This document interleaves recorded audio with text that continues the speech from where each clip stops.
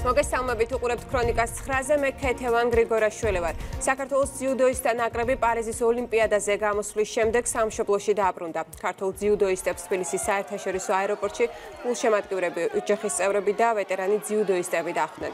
ადგილზე შეკრებილებმა მადლობა გადაუხადეს სპორტსმენებს საუკეთესო ასპარეზობისა და საქართველოს ღირსეულად წარმოჩენისთვის.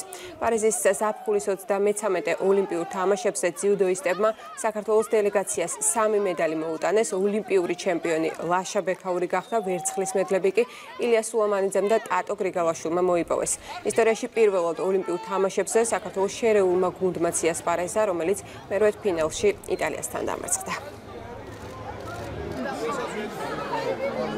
აეროპორტის შემოსახვევთან ფეერვერკი იქნება. ნიკოლო. თქვენთვის ვიბრძოლებ ყოველთვის სისხლის ბოლო წვეთამდე და მიყვარხართ გულში რა. ღმერთების გზნობა საოცრება. ხედრა როგორ კი, კი, იმაზე 10 ჯერ მაგარი იყო როგორცაც. ველოდი და მადლობა ყველას რა გენაცვალეთ გულში. ქართველებს გამოსვლა იყო შესანიშნავი რა ჩვენ არ მოგვიყვებია მარტო სამი მედალი ეს სამ ადამიანს რა ეს იყო მთელი გუნდის გამარჯობა ეს არის საერთო წარმატება და მე ულოცავ მთელ საქართველოს და ჩვენ გუნდსამ წარმატებას. ილიას ოქრო იმდენად გონია რომ სულ ორ ოქროს ეძახი ხოლმე რა თქმა უნდა წარმატებაა ეს დიდი თუმცა შეგვეძლოთ ჩვენ უფრო მეტი სინჯის ქონოდა და მეტი მედლების ქონოდა იმიტომ რომ ბიჭებმა ეს ნამდვილად დაიმსახურეს 2000-ს რაც შეეხება ჯერ არ დასრულებულა და კიდევ ველოდებით რა თქმა უნდა ოქროებს. ეს არის თელი საქართველოს გამარჯობა. ჩვენ ყველა ერთად ვზაიმოთ ამ გამარჯვებას და მიულოცა მოკლედ მთელ საქართველოს ამ უდიდეს გამარჯვებას. ძალიან დიდი გამოცდილება მივიღე ზოგადად ცხოვრებისეული სპორტის კუთხითაც და ეს 4 წელი გამყვება ეს გამოცდილება და შემდეგი ოლიმპიადისთვის მოვიზადები. თითოეული მოპოვებული медаლი ღირდა იმ ემოციად, რომელიც ჩვენ დღეს აქ დაგთვა. მაინდა მადლობა გადაუხადოთ ჩვენს გულშემატკივას გვერდში დგომისთვის და მხარდაჭერისთვის, რაც შეეხება ჩვენს შედეგს. რა თქმა უნდა, ოქროს მედალი, ოქროს მედალია, არ დავობთ, ეს იყო ისტორიული, ეს ნერვების ომი იყო სრულად. ზოგმა გაუძლო, ზოგმა ვერ გაუძლო. თუმცა მთლიანობაში რა თქმა უნდა კმაყოფილი ვართ. ეს იყო მეორე საუკეთესო გამოსვლა ჩვენი ოლიმპიადების ისტორიაში. სპორტის სამინისტროს სახელით მინდა მიულოცო ჩვენს მედალოსნებს, ეს ძალიან დიდი გამარჯვება და ასევე მინდა დიდი მადლობა გადაუხადო ქართველ მონაწილე ძიუდოისტებს იმ თავდადებული ბრძოლებისათვის. და დარწმუნებული ვარ რომ მომავალ ოლიმპიადაზე ჩვენი სახელოვანი სპორტსმენები კიდევ უფრო დიდ და მყარ შედეგებს აჩვენებენ. ჩემზე ძალიან არავის გაუხარდებოდა რომ ოქრო ჩამომეტანა მოკრევე ლაშა გურულმა ოლიმპიადის ნახევარფინალში ასპარეზა და ბრინჯაოს მედალს დაშერდა. მან შეჯიბრების დროს მიღებულ დაზიანებებზე ისაუბრა, რის გამოც ოქროს მედლის მოპოვება გაუჭირდა. ის კუბელ მეტოქეს დაუპირისპირდა შეხვედრა 0-5 დათმოდა სადებიუტო ოლიმპიადაზე ისტორიული ბრინჯაოს მედალი მოიპოვა. კრივში ძალიან ბედნიერი ვარ რომ მოვხდი ოლიმპიურ თამაშებზე და შემდეგ შედეგით დავბრუნდი, მაგრამ ფაქტის წინაშე, როდესაც ხარ სპორტსმენი და ესე ვთქვათ, ეს შანსი ოლიმპიური ჩემპიონობა რაც არის ხელიდან გაგეშვება, ცოტა გულდაწყვეტილი ვარ, მაგრამ იმასაც ვიაზებ, რომ ეს სპორტი არის, კონკურენცია არის სოფლიო სოფლიო კონკურენცია არის, ეს არ არის საქართველოს ჩემპიონატი, არ არის ევროპის ჩემპიონატი, არის სოფლიო კონკურენცია. მიხარია რომ შევძელი ნახევარფინალში ასპარეზობა და ჩემი სურვილი იქნება რომ მომავალში კიდე გავუმჯობესო, უფალს უხდი ყველაფერთვის მადლობას, ყველა იმ ადამიანს უხდი მადლობას, ვინც სურვილი შეიტანა ამ შედეგში, ეს ნამდვილად არ არის პატარა შედეგი. ავტორიტარიზმის ფესტივალი და უცხო ქვეყნის უხეში ჩარევა საქართველოს შიდა პოლიტიკაში ეს მართული გუნდის შეფასებები არასამთავრობო ორგანიზაცია აღმოსავლეთ ევროპის ცენტრი მრავალპარტიული დემოკრატიისთვის მიერ ჩატარებულ ღონისძიებასთან დაკავშირებით. როგორც იცით, თელოვში დემოკრატიის სახელით გამართულ ფესტივალზე გამოფენილი იყო ოპოზიციის სტენდები, ფლაიერები, საარჩევნო ატრიბუტიკა და ბანერები მიხეილ სააკაშვილის გამოსახულებით მისი გათავისუფლების მოთხოვნით. აღნიშნული მოვლენა სწორად შეაფასა საქართველოს პრემიერ-მინისტრმა მან ამ ფსევდო დემოკრატიის ფესტივალს უწოდა ავტორიტარიზმის ფესტივალი. ფაქტი ჯიუტია, ამ ადამიანებს ჰქონდათ გამოფენილი არა დემოკრატიული ლოზუნგები და არა შეიძლება სახელმწიფოები, სადაც შეიძლება ახალგაზრდა თაობამ ან ჩვენმა თანამედროვეებმა მოიკითხონ რაღაცა დემოკრატიის პრინციპები, არამედ იყო სააკაშვილის ბანერები, ზედაპირზე დევს უხეში ჩარევა უცხო ქვეყნის ამ შემთხვევაში დანიის სახელმწიფოსი დასანანია რომ ჩვენი დასავლელი პარტნიორი ქვეყანა მის გარკვეულ ინსტიტუციის მეშვეობით ასე უხეშად ერევა საქართველოს შიდა პოლიტიკაში, რაც ჩვენთვის აბსოლუტურად მიუღებელია. სახელმწიფო უსაფრთხოების სამსახურები ძინა ივანიშვილის მკვლობის მომზადების საქმეზე გამოძიებას განაგრძობს. სავარაუდოა, რომ დღესაც გაგრძელდეს მოწმის სტატუსით დაბარებული პირების გამოკითხვა. სახელმწიფო გუნდისთვის რეგიონსა და მსოფლიოში განვითარებული მოვლენებიდან გამომდინარე, მიმდინარე გამოძიების პათოსი გასაკვირი არ არის. ქართულ ოცნებაში ამბობენ, რომ სწორედ ბიძინა ივანიშვილია ჩვენი ქვეყნის მშვიდობის, ღირსების, სტაბილურობისა და კეთილდღეობის გარანტი, რაც მას გარკვეული ჯგუფების მხრიდან თავდასხმის ობიექტად აქცევს. როგორც სოფლიოში, ისე ჩვენს ქვეყნის შიგნით მიმდინარე მოვლენებიდან გამომდინარე, ცალსახა არის თუ რატომ არის ბიზინა ივანიშვილი კონკრეტულად ყოლობის ცდელობის და მომზადების ადრესატი ადამიანი, რომელიც არის ამ ქვეყანაში გარანტი ღირსების, შვიდობის, სტაბილურობის და კეთილდღეობის, არსებობენ ქვეყნად ისეთი ადამიანები, რომელთა თავარი მიზანი არის როგორმე დესტაბილიზაცია შემოიტანონ ჩვენს ქვეყანაში. შესაბამისად, ჩვენ არ გვიყვის, რომ ასეთი საქმე ჩვენ ჩვენთანაც მზადდებოდა. ამავდროულად ეს ოპოზიციონერები, რა თქმა უნდა, კურს გუდი ეწვისო და ახლობით ასეთ ვარიანტში არიან ჩაცვენილები და თითქოს ყველანაირად ცდილობენ რომ როგორმე ან მიაჩუმათონ ან როგორმე გაბლარონ ნიუსპიჩი თამაში დასრულებულია პარტია ლელო აღარ არსებობს. ასე აფასებენ ქართულ ოცნებაში ხაზარაძე ჯაფარიძის მიერ საქართველოს წინააღმდეგ წაგებულ დავას სახელმწიფო გუნდისთვის გაუგებარია რა მოტივით შეიძლება გააგრძელონ. ყოფილმა ბაკინება პოლიტიკაში საქმიანობა ვინაიდან უმრავლესობის შეფასებით ყოფილი ბანკირები მოღალატეობრივ პოლიტიკას ატარებენ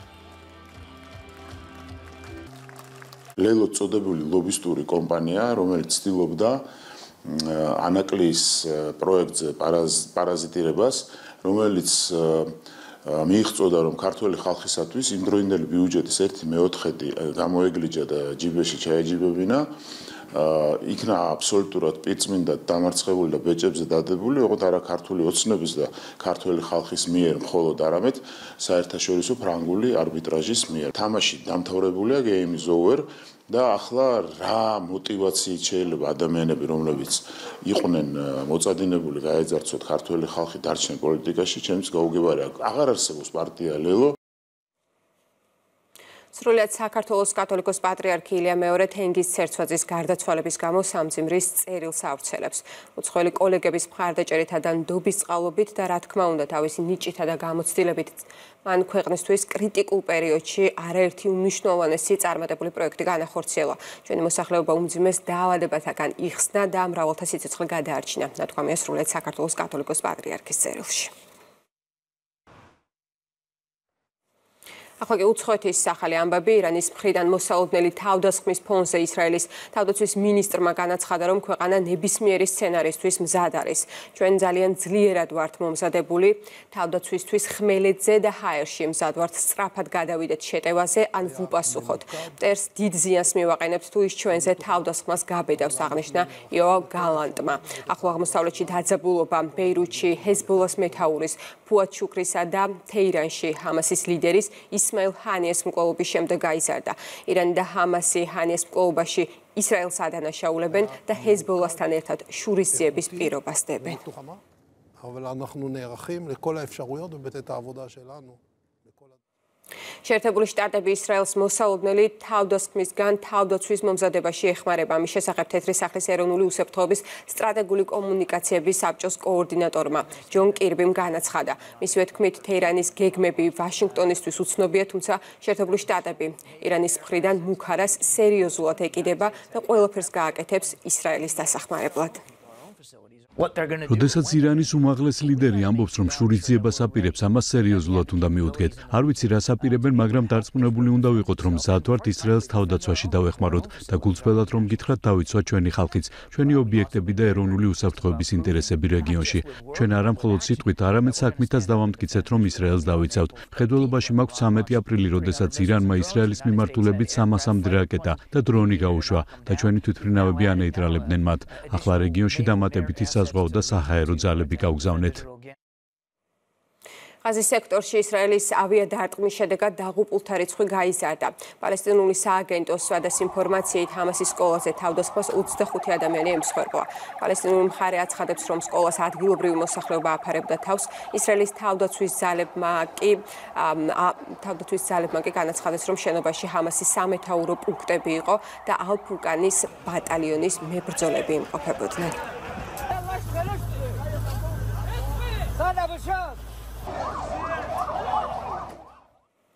უკრაინამ 79 F-16 თვითმფრინავიდან 10 უკვე მიიღო. წლის ბოლომდე კიევს კიდევ 20 ავია გამანადგურებელი უნდა მიეწოდოს. დანარჩენი 59 თვითმფრინავი კი ქვეყანაში მომავალ წელს ჩავა. F-16-ების მიღება ოფიციალურად დაადასტურა უკრაინის პრეზიდენტმა ვოლოდიმირ ზელენსკიმაც, რომელიც ავიაბაზაზე პირადად იმყოფებოდა. ჩვენ გავმართეთ ასობით შეხვედრა და მოლაპარაკება ჩვენი ავიაციისა და საჰაერო თავდაცვის შესაძლებლობების გასაძლიერებლად. ხშირად გვესმოდა პასუხი, რომ ეს შეუძლებელი იყო. ახლა ეს რეალობაა. F-16-ები უკრაინაშია. მე ვამაყობ ჩვენი ყველა პილოტით, რომლებმაც უკვე დაიწყეს მათი გამოყენება ჩვენი ქვეყნისთვის. დიდ ბრიტანეთში საპროტესტო გამოსვლები გრძელდება. ნოტჰემში манифестантები თავს დაესხდნენ სასტუმრო, სადაც მიგრანტები ცხოვრობდნენ. მათ შენობის ფანჯრები ჩაამტვრიეს და ნაგვის ურნები დაწვეს. ადგილზე მყოფ სამართალდამცველებს კი ქვები და ბოთლები დაუშინეს. არეულობის შედეგად რამდენიმე პოლიციელი დაშავდა. არალეგალური მიგრაციის წინააღმდეგ საპროტესტო გამოსვლები ბრიტანეთში მას შემდეგ დაიწყო, რაც ქალაქ საუთპორტში 17 წლის მოზარდმა სამი არასრულწლოვანი მოკლა. ულტრამემარჯვენეების საპროტესტო აქციებზე პოლიცია პოლიციამ 150-მდე ადამიანი დააკავა. ყველა ვინ ძალადობაში მონაწილეობს ამას ინანებს. ეს არ არის პროტესტი, ეს არის ორგანიზებული ძალადობრივი ბანდიტიზმი და ამის ადგილი არც ქუჩებშია და არც ონლაინ სივრცეში. გერმანია, საფრანგეთი, იტალია, ესპანეთი, პოლონეთი, ნიდერლანდები და პორტუგალია შეშფოთებას გამოთქვამენ ვენესუელაში შექმნილ ვითარებასთან დაკავშირებით, სადაც უკვე ერთი კვირაა საპრეზიდენტო არჩევნების შემდეგ შედეგებს აპროტესტებენ. ოპოზიციის ლიდერები ამტკიცებენ, რომ არჩევნები გაყალბდა. ევროკავშირის 7 ქვეყანა მოუწოდებს ვენესუელის ხელისუფლებას გამოქვეყნოს ამომრჩეველთა მიერ მიცემული ხმების დამადასტურებელი დოკუმენტაცია, რადგანაც აუცილებელია არჩევნების გამჭრელობა და სამართლიანობა დადასტურდეს. განცხადებაში ასევე დაგმობილია საპროტესტო აქციების მონაწილეთა დაკავება. არჩევნების შემდეგ ვენესუელაში საპროტესტო გამოსვლებზე 2000 ადამიანი დააკავეს.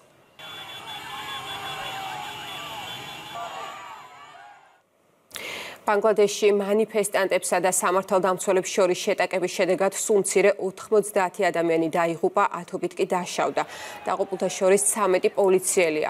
აქციის მონაწილეები პრემიერ-მინისტრ შეიხ ჰასინას გადადგომას ითხოვენ. სტუდენტური პროტესტი ივლისში საჯარო სამსახურში კვოტების გაუქმების მოთხოვნით დაიწყო, მაგრამ მოგვიანებით უფრო ფართო ანტისამთავრობო მოძრაობად იქცა. საპროტესტო მოძრაობის დაწყების შემდეგ დაღუპულთა საერთო რაოდენობა 280-ს აღემატება. კვლავ საქართველოს გორის მუნიციპალიტეტში მცხოვრებმა ახალგაზრდებმა სასწავლო წლის დასასრული აღნიშნეს. წლის განმავლობაში სხვადასხვა ღონისძიებაში ჩართული სტუდენტები და სკოლის მოსწავლეები ატენის ხეობაში შეიკრიბნენ, სადაც შემაჯამებელი ღონისძიება გორიკასპის მაჟორიტარი დეპუტატის ინიციატივით მოეწყო.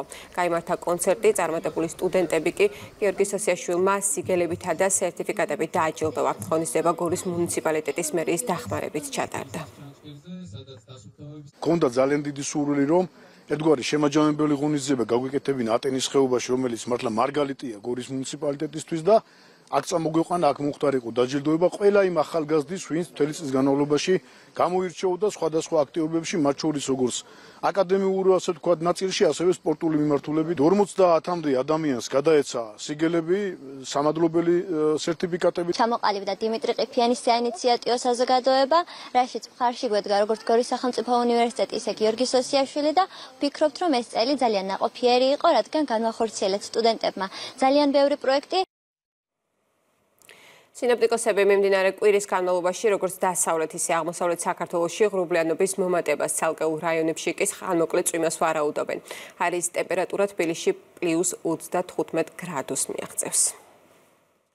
როგორც დასავლეთ ისე აღმოსავლეთ საქართველოში დრო გამოშვებით ღრუბლიანობა მოიმატებს.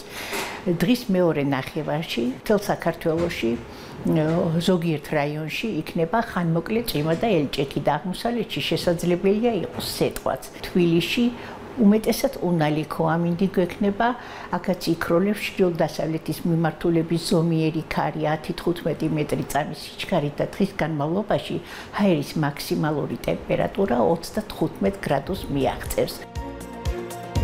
ის ყველა სიახლეს ვრცლად გაიცნობით იმედი ნიუზ-ჭიზე ქრონიკა პირდაპირ ეთერში ზუსტად 11-ზე დაბრუნდება დროებით.